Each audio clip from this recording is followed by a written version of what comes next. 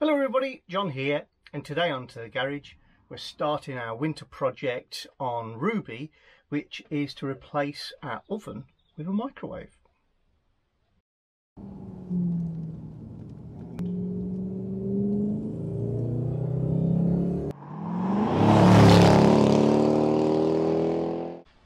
Myself and Joe have owned Ruby the Rapido for um, a couple of years now and what we're recognising is we barely have used the oven. It's not something we would typically need when we're out and about, style of cooking and things, most things we do on a hob. But occasionally it'd be really nice to have a microwave. So our plan is to remove the oven, keep it, because maybe future owners, but use the space where the oven is to build an enclosure that's appropriate for a microwave and that's going to have a few challenges. We've got to remove this. We've got to leave the fridge intact and looking good and working. We have to cap off the gas supply that goes to this. We're going to have to put a 240 volt supply behind it. The microwave will have to be removable but mounted in such a way it can't move. I want the whole thing to look original. That doesn't put me off, it'll be interesting to do. Removing the oven will mean that we're slightly less self-sufficient off-grid. But when we're using this vehicle, we're typically on motorhome and caravan club sites, uh, electric hookup. Also, it's a small eye-level oven. Uh, it takes a long while to heat up. It's not very efficient. It's not great use of our gas supply. So for all those reasons, it's coming out. Now, empty the oven out. We keep a few things in here, which again tells you something about our usage. And this is where this is going to get quite interesting because we have a series of screws holding it to the frame here. But the control for the oven is on the bottom part, which is also the fridge. So there might be a little bit of a game to get this out, but we're going to give it a go.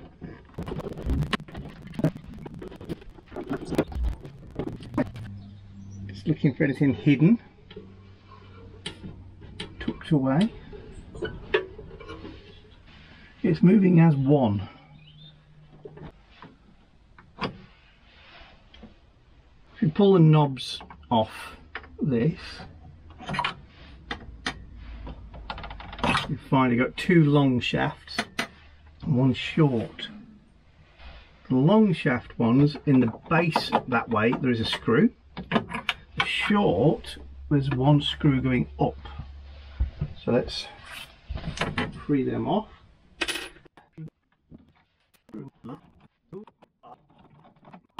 remember these whoops, from when I got rid of the terrible Dometic fridge latch and made my own.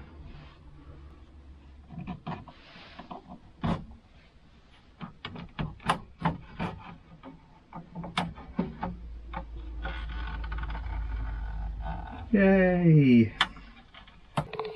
I've now exposed two more screws that are holding the oven onto the top of the fridge. So I'm going to slacken them two off and just see if this seems to move independently before we deal with the gas connections around the back.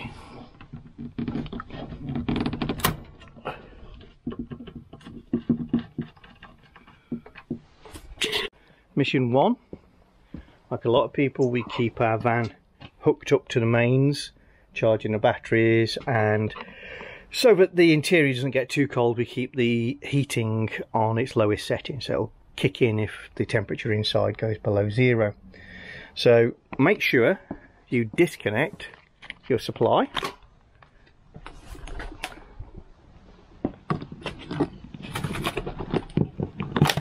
And then next,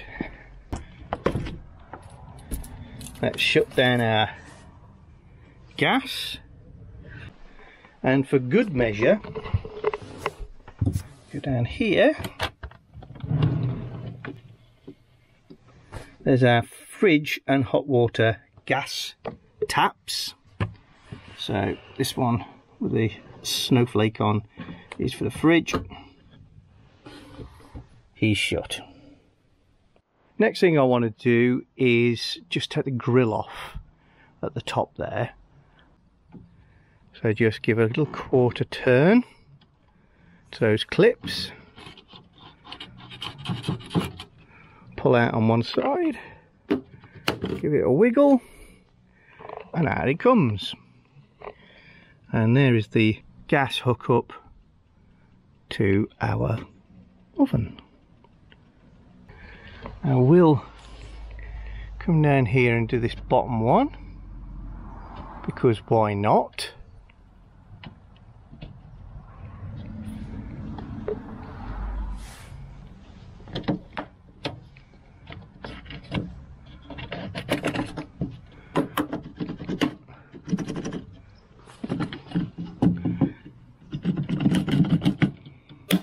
There we go.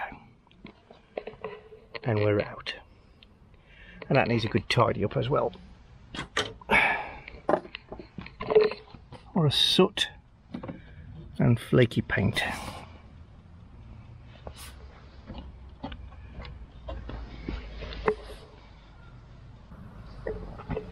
Looks like this is the T-junction where we've got supply gas and then it branches off into the fridge and this way to go up to the oven.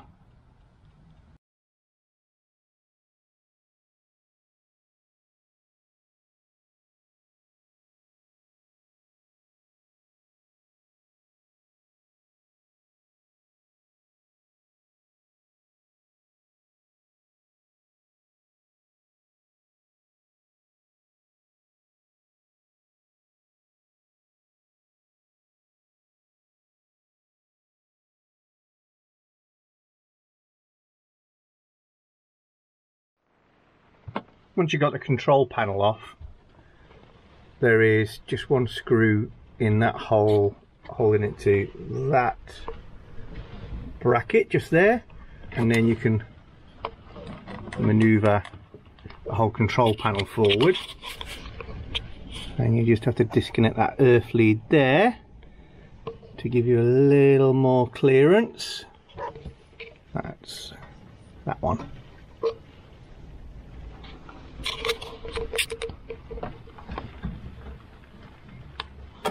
off.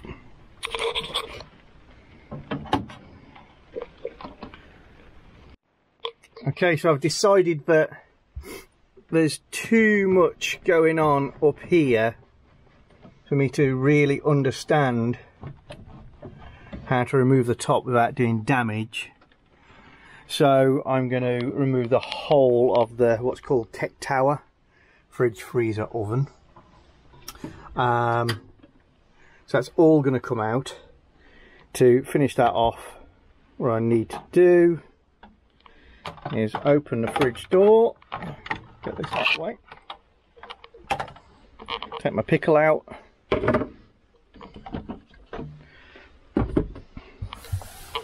and there are screws underneath these covers that just secure it to the woodwork around four of them. So remove them and then we'll slide the whole thing forward. Well, we've reached this stage. Hey! So, success. Managed to split the tec tower, removing the oven from the top. Couldn't really film doing that because it turned into a bit of an epic task brother involved, we are dragging the fridge out, we are in our own way, let alone trying to film anything and trying to discover how to do it as we went. But I can explain for everybody else how it works. so we achieved the split by taking the whole thing out and doing it outside of the furniture. Uh, first thing to note is you can bring it out and put it in this position in our van, the Rapido, but it's a very tight fit if you want to squeeze the whole unit through here.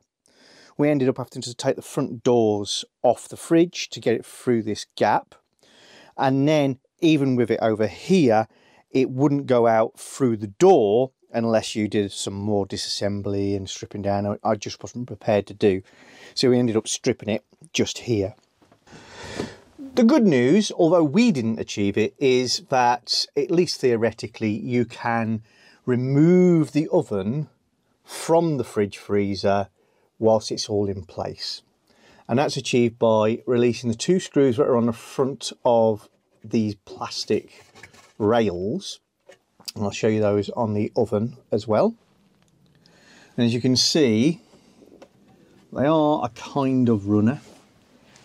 And there's a, a lug that's inside, dropped into here, that slides along the top on the oven. But in order to actually pull the whole unit out, you'll have to remove this bit, which is the electronic controller, a couple of screws at the front, very easy to see. And undo the two screws here, which connect the gas control to the top of the fridge and position those so that they'll come around this and it will mean bending the copper pipes a little bit so not ideal. Um, there's earth leads just strapped to the top of the uh, fridge. You can see those once this is out of the way rather easily. Just pull them off their spade terminals.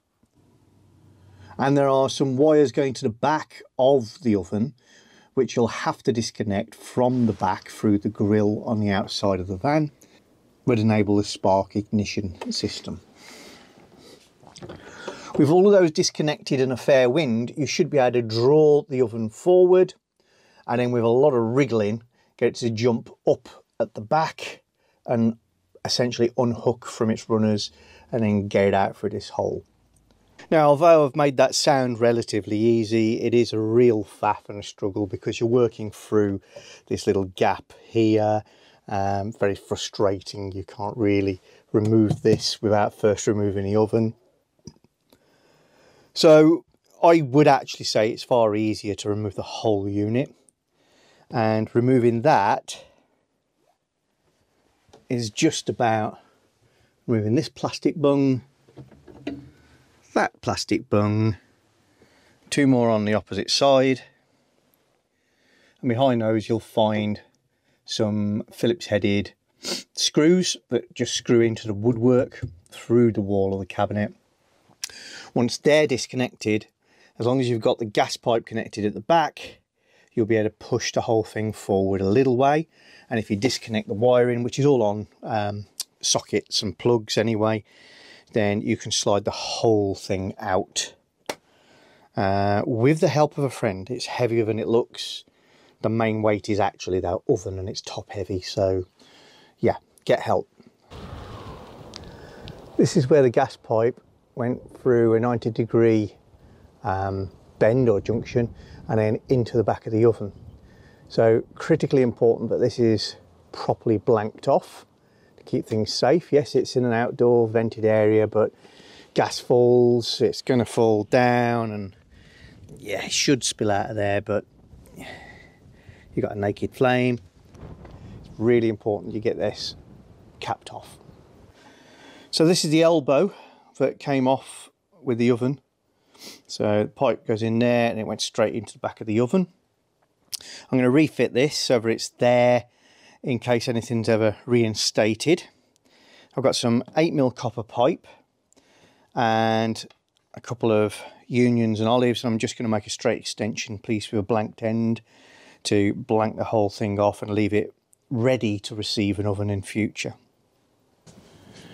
It's actually copper 8mm fuel line not commonly used anymore copper pipes for fuel line but I've got some in my garage from my kit car days.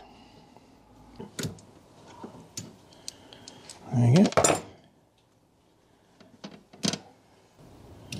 Just using a drill bit to deburr it. Just give myself a couple of inches.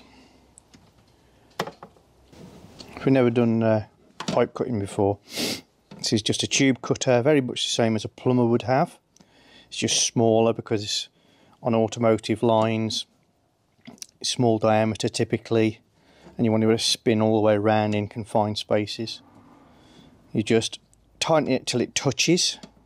There's one cutting wheel and two rollers. Spin it round twice and then turn the wheel about an eighth of a turn just till you feel resistance basically. Don't try and squeeze through the pipe and spin it and it scores its way through the pipe and leaves a very neat finish.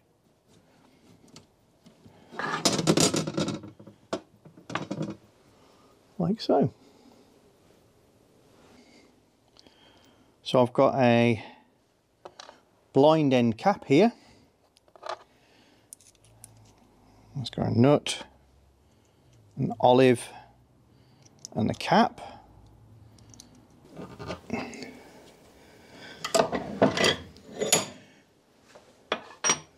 So there's that end cap.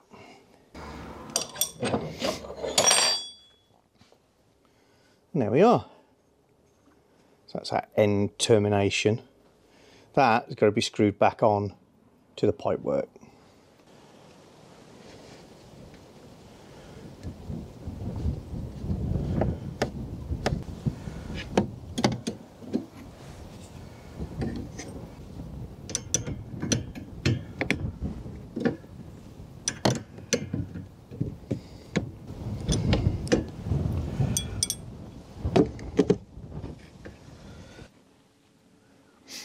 So this is our microwave. We purchased this from Magnum Motorhomes. It's a Dometic MWO microwave oven 240 UK. And it is a motorhome caravan specific microwave. What does that mean and why have we chosen this? Well, the first thing is, is dimensions. So more, an awful lot of microwave ovens, they can look quite compact, but the killer feature for a motor caravan or caravan is the depth. And this one doesn't have too much bulgy stuff hanging out the back. It's about 34 centimetres front to rear. That's allowing for the bulge on the back. Width is 44 centimetres and then we've got height, which is where I've got to say it's a little deceiving.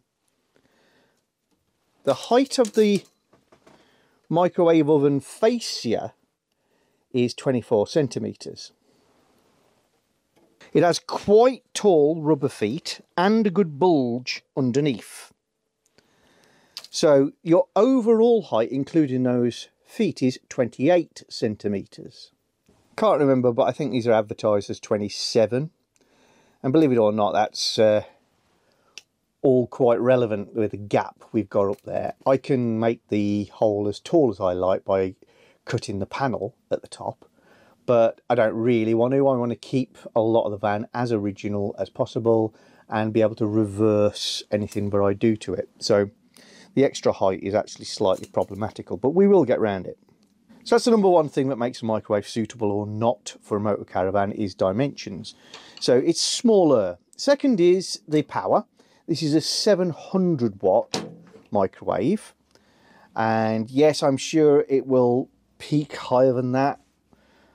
But an awful lot of microwaves these days are a thousand watts of cooking power range and that makes them less useful for motor caravans because of the hookups we're going to use. Can't speak for anywhere else in the world, but in the UK we tend to have uh, at least a 6 amp hookup uh, on 240.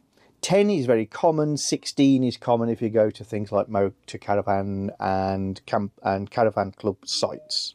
Watts is voltage times by ampage so if you've got a 10 amp hookup that you're connected to and your van is all equipped for a 10 amp hookup, that's in the middle of the range, then it will cope with a draw in the UK of 2400 watts.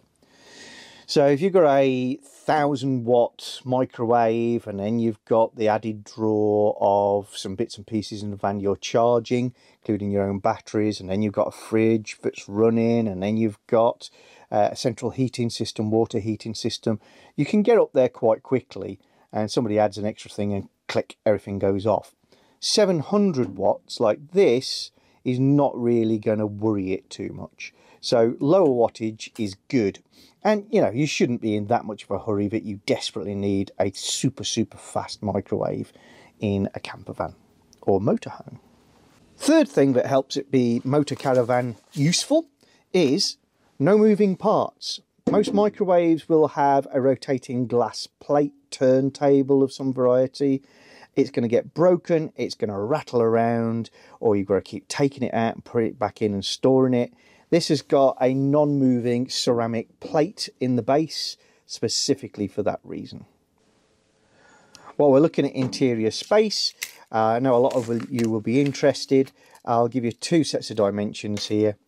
The ceramic plate is 23 centimeters square. The cavity inside the oven is rather better than that because it's got these depressions and bulges.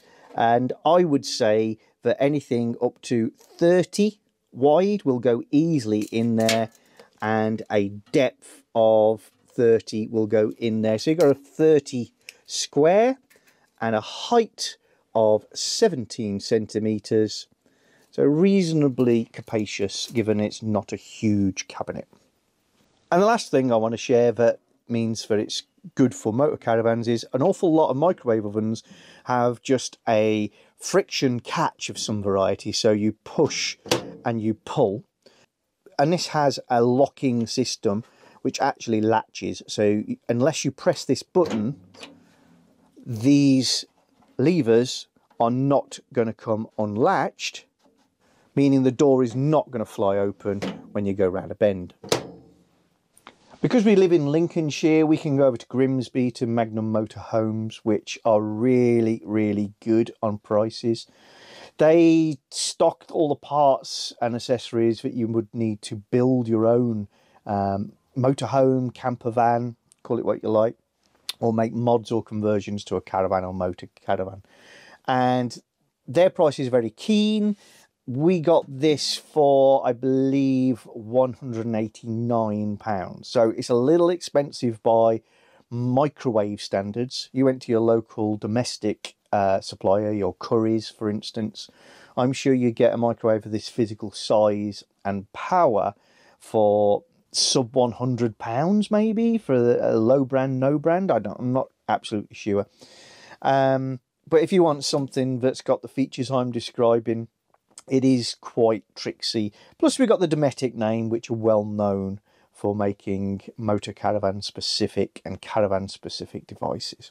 So i'm quite pleased with the price for what it is though they are expensive compared to general run-of-the-mill domestic microwaves. Now, how are we going to get this to go in here? Well, as it stands, the gap between here and here is too small for the microwave with the rubber feet on. Now, the rubber feet can be removed, but there's some lumps and bumps and bulges in the bottom anyway.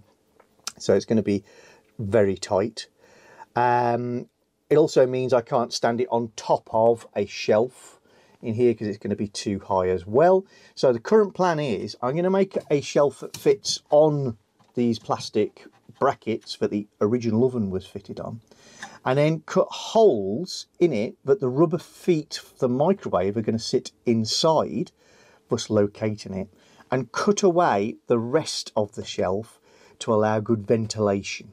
I made myself a paper template which in my case is 53 wide by 25 deep and that is the right width and the shallowest depth that will accommodate the feet on the microwave and I'm going to place the microwave on top of this to see where the feet sit and get myself a template before I start making things in wood. And here's my template. So that whole hatched area in the middle is going to be cut away to allow for ventilation and a bulge and these are where the feet are I'm going to drill the smallest diameter so that there's a sort of conical contact with the feet that's what the bottom of the oven looks like. So got these conical rubber feet. They do unscrew. So I'll be to take them off play around with them. We've got this bulge in the middle. You've also got quite a lot of vents. So I'm going round them all.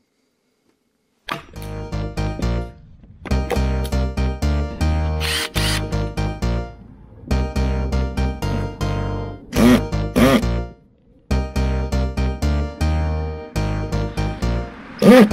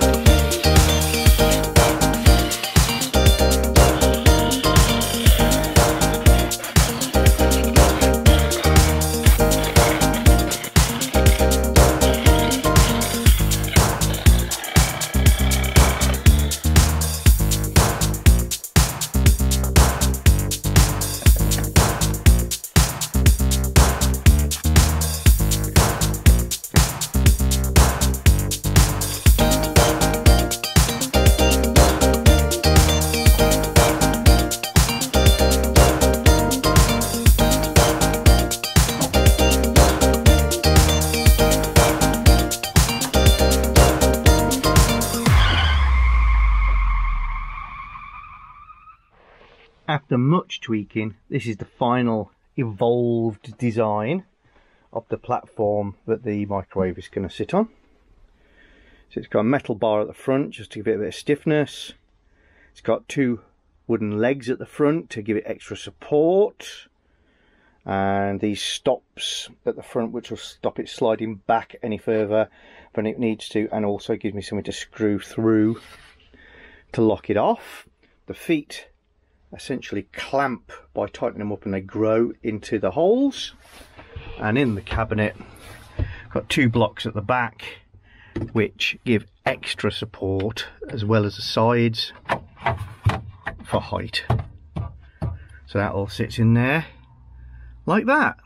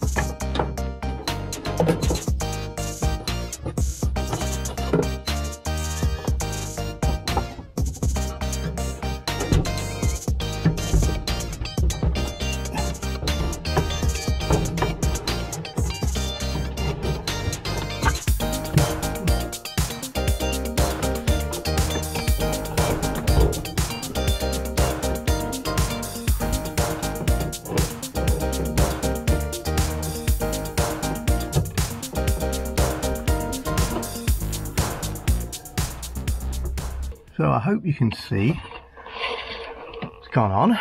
So it's slid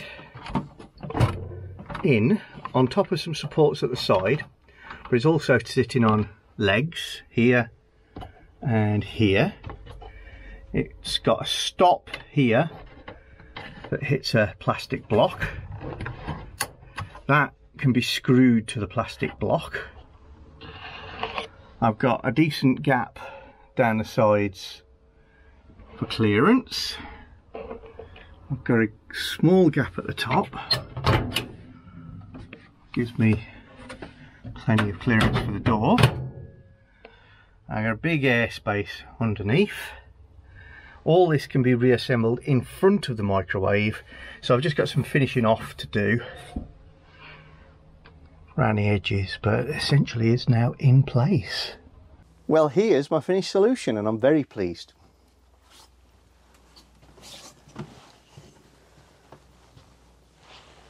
So after mounting the microwave in the way that you've already seen, the additional activities were piece of maple finished uh, wood this came from Magnum Motorhomes. Uh, they supply the shelving material that I used on this little project. So same sort of stuff, very light. Um, I think it's 12 mil thick board. That has increased the thickness of this panel, tidied it all up, closed the gap down but not completely. So in here, I know it's a little dark, I've got a gap here of just over 20 millimeters. And likewise on this side, just over 20 millimeters. It's fixed in place with a screw just here and the back edge just goes back around six inches. I've got a strip of double-sided foam tape that is obviously going to catch and stop the thing from moving around. Same on this side. At the bottom, it's trapped and held in place by another panel. Same thing, pushed in flush. This isn't very deep. This is two inches deep and just covers up the top edge of the grey plastic and stops you seeing where that finishes off. It leaves a nice gap below the door. Uh, if I open the door, you can see better how that finishes just before the microwave. At the top, I've just got a little moulding in place, which covers the raw edge of this panel, and that's held in place with glue and a couple of panel pins and goes above these panels.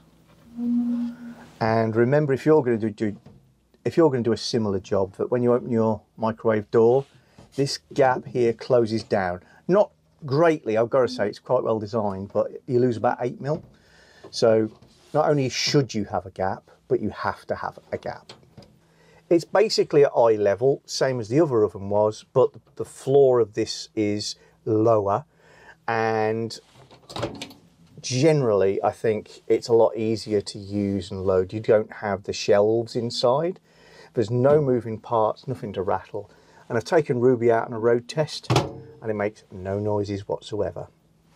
This little area lights up whenever you plug into the mains and to set it all you do is you go clock. I know it's oscillating, that's just to do with camera settings. Um, once you've got that, clock, press clock again and say it's one clock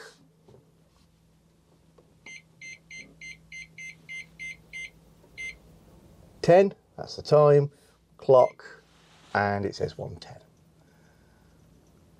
and you just start the microwave by telling it how powerful you want it to be 100% express gives you 30 60 or minute and a half with presses or you use these buttons to tell it how long to go for and instant start, pause and cancel. Couldn't be easier. No rattles.